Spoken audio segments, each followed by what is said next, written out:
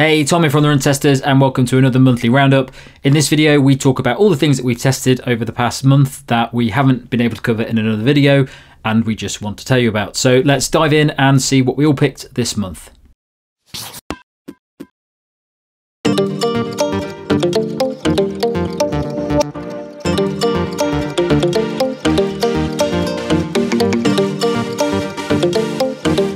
So my first pick this month is actually an app. It's called Day One. It's a journaling app. It's not built directly for runners, but it's basically become my go-to option for my running journal, which I've been keeping for several years in various forms. I've used like written diaries in the past, or just a Word document, or some kind of weird iPad diary I had for a little while, and I do all this in addition to my master spreadsheet of all the shoes I've used and the various testing on those. But in terms of my actual running diary, I'm now using this app called Day One, which is free. There is a premium option available, which I'll come on to later, but in the free option, you basically can pop your deets in. It's a searchable diary, which I think is very handy for me because I can put some notes on shoes and other gear I'm testing in there and then search the app for them if I need to remind myself of what runs I did in the various shoes I've used.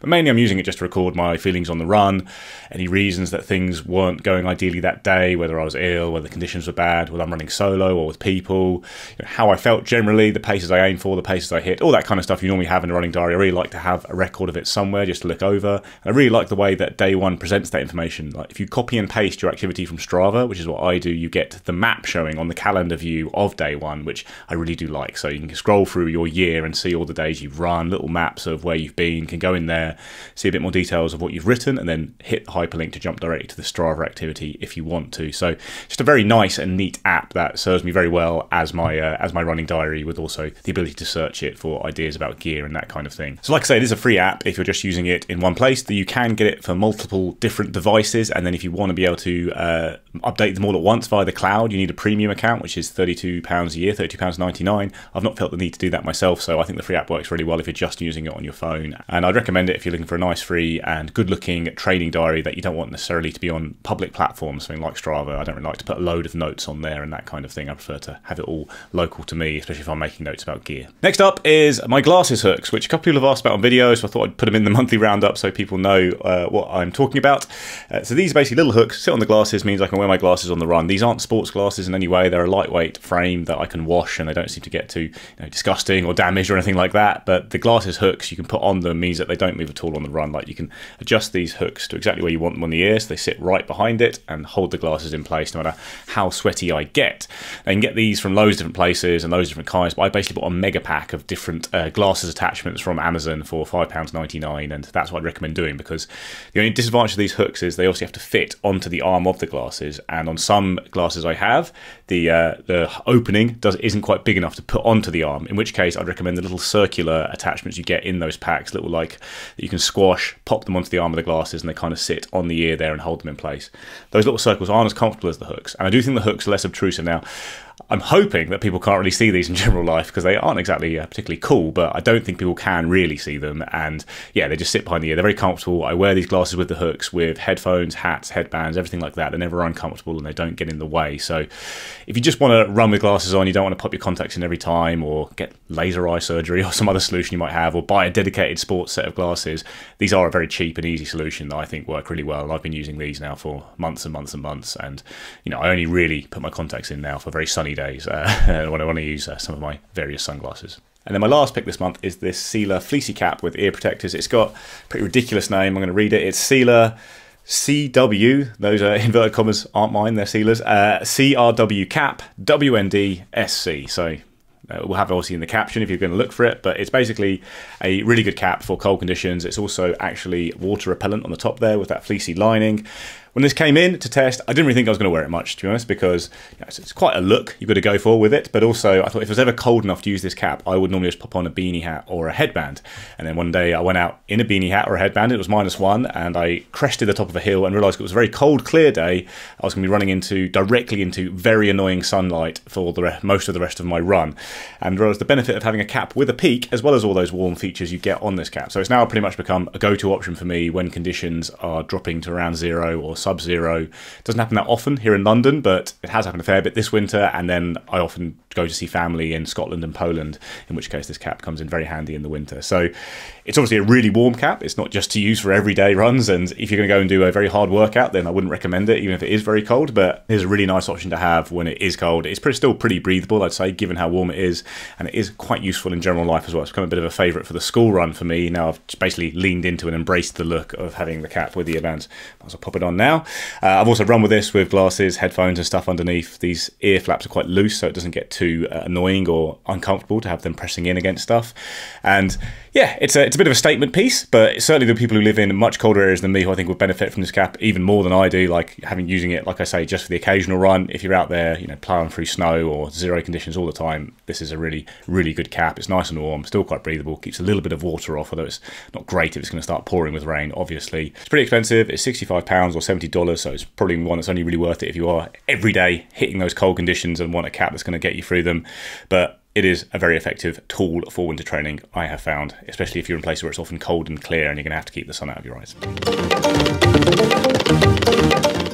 So my first monthly pick are a pair of gloves because in January it definitely was at times definitely gloves worthy running conditions. Now, as I said in our previous kind of running gloves video, something I really value in a good pair of running gloves is something that are kind of nice, small, packable, but obviously do have to kind of give you that warmth. I think particularly for me, at the beginning of the runs and also at the end of my runs as well too, because in between I think I've kind of generally warmed up well enough. Now, ones I've been trying this month are these. These are Adidas's Terrex Cold.RDY gloves. Now they retail at 45 pounds but I've had a look around and you can pick them up for closer to 25 pounds which I think make them they're still not cheap but I do think that makes them a bit more better value in terms of what they are and what they offer. Now the first thing I like about them and I will have to say they are very kind of snug fitting gloves. Now that works fine for me. They're pretty skinny in terms of you know the amount of space you're getting around the fingers but I've got quite skinny hands. So for me it's been absolutely fine and they really do kind of wrap around your fingers really nicely. And again they're nice and packable as well. And I like the size of them. They're not as small as the Soar running gloves that I typically use but it definitely is a little bit more material here which means I think they give you a little bit more warmth in general. And also, which is also important here, particularly if you're running out with your phone, and I do, and also I have a watch that has a touchscreen as well, you do get some very tactile elements and on most of the fingers and in the areas, the inside of the palm as well here on both of these gloves. So it does allow you to kind of interact with your phone pretty easily. It does let you interact with your watch as well. Something that I want to be able to do when I'm wearing gloves uh, when I'm out on my run. So these are gloves that I would definitely keep around. As I say, I've got the Soar ones that I use. I think the North Face E-tip ones I think are really good as well here. And I think these are a nice addition when the conditions are a little bit colder. If you want something that is kind of a small, kind of snug fitting pair of gloves that does allow you to still use your phone also give you enough in terms of material these are good options to do uh, or to grab I would say. Now as I said they retail 45 pounds but you can get them for less than that and I think if you can get them for less than that they are definitely worth looking at. If you like a small fitting pair of gloves that are going to offer a good amount of warmth particularly in colder conditions. These are ones that have worked very well for me when it has been pretty treacherous in terms of that cold this month so my second monthly pick are a pair of truly wireless open ear air conduction earbuds. So similar to what we've seen from the Shokz Open Fit, which me personally I didn't absolutely love all aspects of. So there's definitely a new breed of other alternatives, cheap alternatives. I've used the Soundcore Aerofit, the Soundcore Aerofit Pro, and the Soundpeats Go Free 2 as well this month. And the Soundcore Aerofit is the one that has stood out for me from a running perspective. Now, it is cheaper than the Aerofit Pro. And in terms of the things that you're missing out on, I don't think it really, from a running perspective, really kind of mattered for me. So you've got that kind of additional neck bands, which for me, I found the fit reliable enough for me on the Aerofit. You're getting kind of support for kind of high resolution kind of playback, which again, I think it's a bit misplaced here, and the spatial audio as well too. In terms of design, it's very similar to the Shokz Open Fit, but I found the fit and design more reliable overall. I think it's better weighted in terms of the design. I've worn it for kind of longer runs. It's been absolutely fine. I haven't found them uncomfortable to wear and they've been relatively reliable in terms of my running from a kind of slower pace runs, kind of quicker pace runs as well too. So from that point of view, been, they've been generally solid. The touch controls are actually pretty good examples of it. There's a nice big surface area compared to what you've got on the Aerofit as well. So I think if you are using them on the move, they are a little bit easier to use. In terms of sound performance, you are getting the same EQ modes. So with air conduction, it's a little bit more customizable. And I think in terms of the performance on the Aerofit, it definitely feels brighter. Overall you know, just a, more impressive sound, that better open ear experience compared to the Aerofit Pro. If I had to put it in, you know, against other air conduction earbuds, I would say that it probably sits somewhere with the JBL um, open ear air conduction earbuds that I've tested. Not quite Shokz Open Fit quality overall, but I think it's very good for what you're paying in terms of that price being under £100, under under $100. And battery life is pretty solid as well. There's a bit of a drop off again compared to the Aerofit in terms of numbers, but in terms of using them over a week, leaning on that fast charging feature that you get here as well too and a relatively portable case as well too it's a little bit longer than the one on the aerofit pro but in general it's fine to kind of put into a running uh, belt which is something that i've done with no problem as well too so my second pick the soundcore aerofit which are truly wireless open air air conduction earbuds which come in cheaper than the Shokz Open Fit, but also I think offer a good overall performance, sound, and does it for less money as well too. Now, using caffeine on your runs in a timely manner can offer some pretty good performance benefits. For example, towards the end of long runs, where you really need to scrape that final bit of energy out of your barrel. There are loads of ways to get caffeine in on the move. You can obviously buy gels that carry caffeine. Carb drinks, powders now also come with caffeine varieties too. But if you're looking for a really fast and easy measured caffeine kick in a really simple, portable, small, easy to carry format, and easy to eat, by the way, then the Caffeine Bullets Ginger Roar Chews, these little bad boys are ideal. They come wrapped like little regular toffees. They're quite small, but inside this small thing, they pack 33 milligrams of caffeine per chew. They have a soft and chewy texture. You can buy mint flavour, but I've recently been using these ginger chews. I don't use them every run, but they're really easy to stick in your pocket. So I always have a couple of them about my person as a kind of backup, just in case you never know when you're going to need some extra little help. I also like the fact that I can keep my caffeine intake separate from my energy as well. Sometimes that's really useful if you want a bit more precise control, so you don't have to bash down an extra gel to get that caffeine kick. Oh, and they're also um, vegan friendly, so thumbs up for that. Now, if you've watched our socks videos, you'll know that I often run in Stance Performance socks, which are slightly thicker. I like the added sort of padding and comfort that they bring when I'm doing those longer miles and longer time on feet that I tend to do a lot of. But recently, as I've been doing a bit more structured training for the Adidas Manchester Marathon, which is coming up, I've been doing some faster and shorter stuff.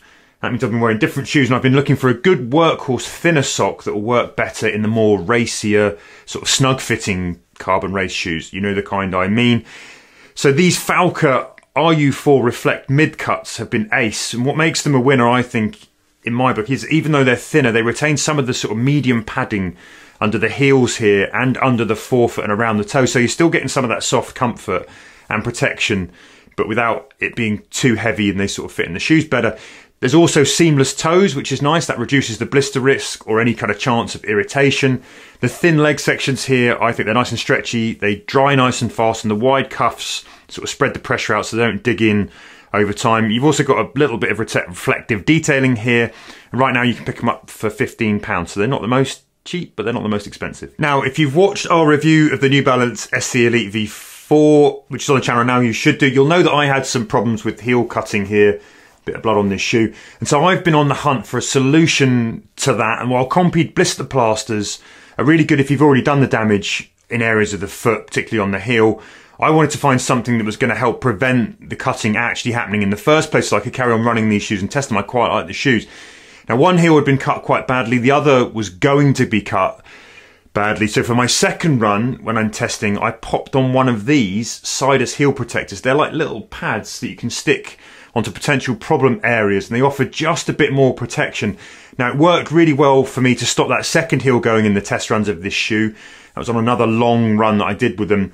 But a couple of warnings here. You can't use them on already open wounds because the adhesive bit under here, it's like the stickiest bit of the plaster without the nice soft bit.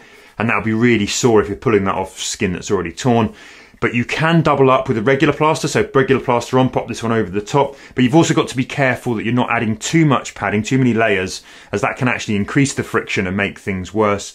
But I think if you're looking for something that's going to stop the, the rubbing or catch that really early on, these are great and they're particularly a good thing. I think pop a couple of these in your kind of pack if you're going to be doing an ultra and that you never know what might happen having a little bit of backup can help so these are the Sidas foot protectors the Brooks Run Visible 6 inch short tights, I really like them because they come down to like a sensible length, um, so they're not really tiny, tiny shorts. Um, and also they have a nice high waistband as well and an adjustable waistband too. Um, they've got absolutely shed loads of uh, storage in the pockets you could fit like you know six gels in each although you might find that they get weighed down and gradually come down. And they've got these reflective strips just around the waistband and around the leg as well. So the idea is, is that you're really visible at night.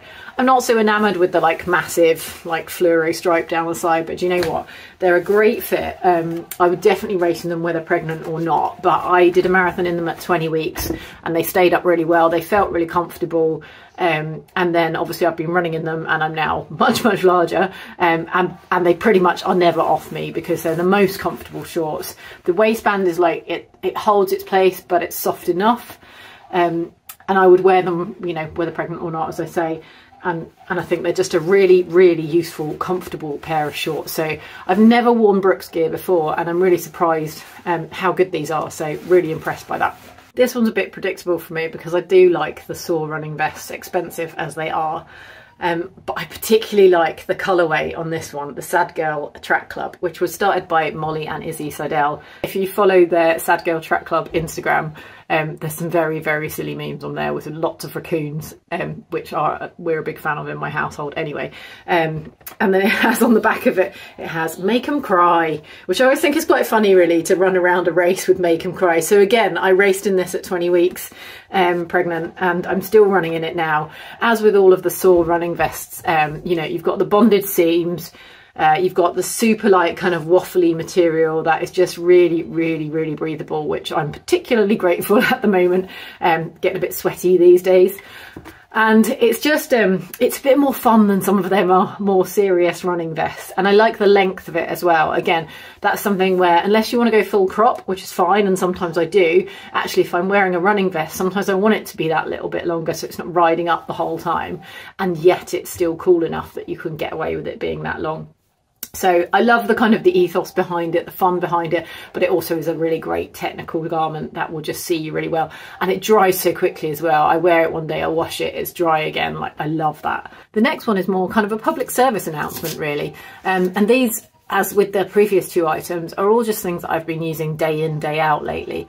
Um, and this one is the Coros Pace 3, but it's the new feature that they installed recently, which is the overnight HRV tracking, which was something that I really felt was lacking from it. So I've all I've used HRV tracking on my Garmin for a long time, and I, I really rate it. Just being able to kind of um, preempt if you think that maybe you're getting to be a bit under the weather, you can kind of clock that in advance. For a woman, I found it's an incredibly reliable way of predicting when my cycle was going to arrive. One thing I'm not sure actually is, ironically, although I really like HRV, is how reliable it is or what you can read into it when you're pregnant. Um, but it is a new feature. So if you've got the pace two or the pace three it has recently been downloaded um, onto your watch so you can now get overnight hrv tracking this is the Eliud Kipchoge uh, edition if you're interested it's very cool with a nice uh, fun wristband there that really fits fits the vibe and little red and green buttons and things. But I'm getting used to the Coros uh, interface in general, but I really like the fact that they have added that to their features without you having to pay any extra for it and it's just kind of arrived on the watch.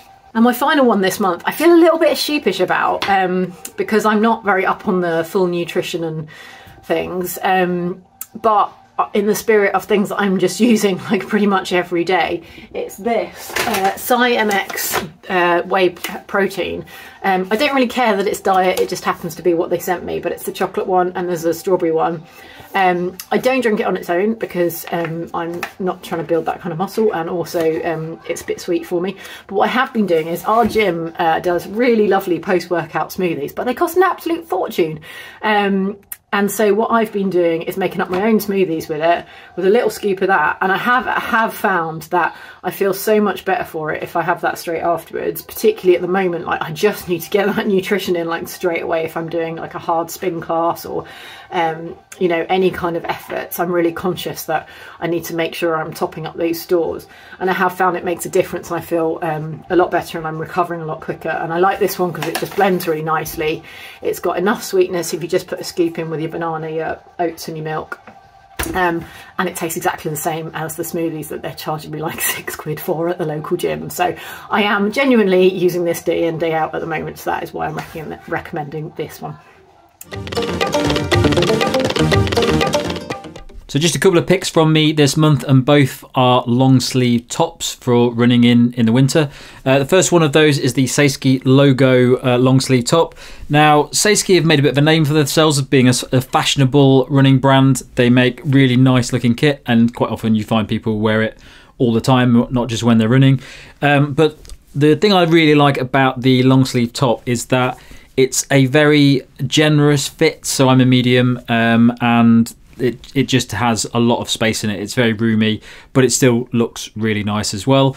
Uh, it's a really comfortable one to wear on the run. Um, it's quite warm, so it's probably best used for uh, the colder points of winter. I definitely wouldn't use this uh, when I was training in the summer, uh, but I've just been out using this on a um, uh, an interval session, and it was absolutely perfect. It means I could run down there, and it kept me nice and warm. But when I was doing the intervals and I got a lot hotter, it was still quite breathable uh, and comfortable as well. So it's just a really nice, comfortable top. There's quite a lot of different versions of this. Saysky tend to bring out new colorways of it quite a lot.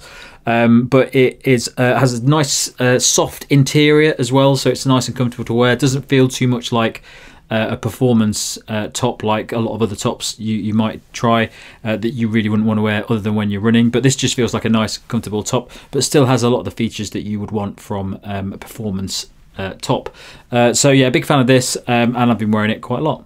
So my next pick is a slightly different long sleeve top. So this is a North Face Mountain Athletic long sleeve top. Um, it's uh, RRP is £75, but I think you can get it for about £40 on JD Sports at the moment. Um, it's a little bit different from the Saysky one in that it is very much a performance top. It isn't as generous in terms of fit, so it's quite tight. So if you're the sort of runner that doesn't want a really tight fitting top, maybe go for a larger version of this or don't get this. Um, but if you like a, a base layer that really hugs your body, then it's great for that. Uh, I've done quite a few sessions in this now. Um, it's very, very uh, good at protecting against the cold. It, it keeps you nice and warm, um, but also it's quite breathable as well. So I don't get too sweaty in this top, and I roll the arms up in it, and it works very well uh, if I'm doing speed sessions and things like that.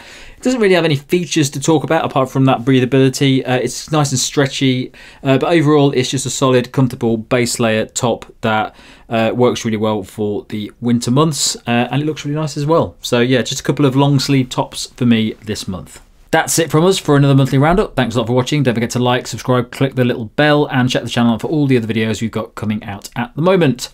Catch you next time.